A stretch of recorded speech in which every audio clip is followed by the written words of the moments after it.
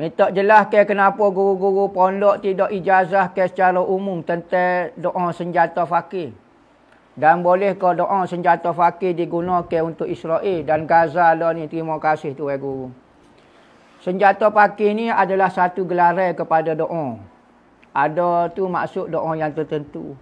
Ada maksud umum. Doa yang menunjuk laknat kepada satu-satu kaum. Seperti kunuk nazilah yang mana Nabi Muhammad buat dalam masa seminggu saja kunuk nazilah ni hancur lebur musuh Allah Taala. Maka kunuk ni Nabi tu suruh pula anak anak apa dah sahabat-sahabat amal doa ni.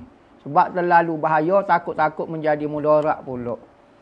Maka senjata pakai ni ada doa-doa yang sangat mustajab bagi orang yang kena zalim. Maka kalau kita guna-guna untuk Israel pun tak ada masalah, tak ada apa.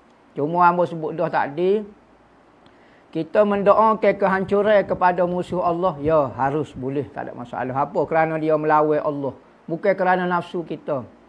Tetapi hak lebih murni lagi kalau kita doa supaya dia jadi orang Islam berlaku.